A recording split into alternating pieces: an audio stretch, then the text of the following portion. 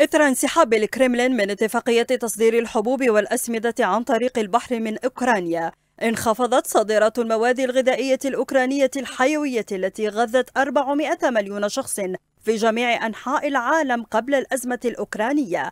ودخلت بلدان عديدة حالة طوارئ غذائية من بينها دول عربية.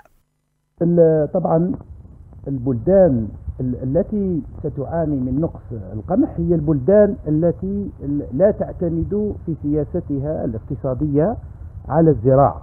لأن المنتوج العالمي سيكون في تناقص بسبب الحروب والنزاعات آه، الإقليمية والتغيرات المناخية وازدياد الطلب على المنتوج والعديد من الأسباب.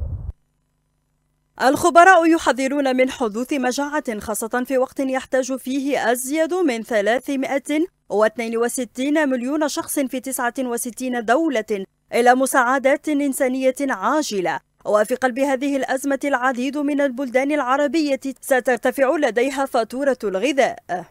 الأمن الغذائي هو السيادة الغذائية المحلية. هذه الرؤية لازم تكون موجودة لدى مختصي أو مسيري السياسة الزراعية في الجزائر.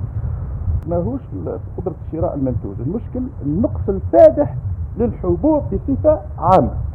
إذا مهمة البلدان توفير هذه هذه المواد الاستراتيجية الأساسية مهما كانت الظروف. فالدول النامية أو السائرة في طريق النمو هي هي التي تتأثر كثيرا من هذه من هذا العجز. الجزائر تحتل المرتبة الرابعة عالميا في استيراد القمح وفقا لتقرير عن منظمة الزراعة والأغذية العالمية وانسحاب روسيا من اتفاق الحبوب. سيكون محدود التأثير عليها في إطار الاستراتيجية الجديدة لتنويع المستوردين.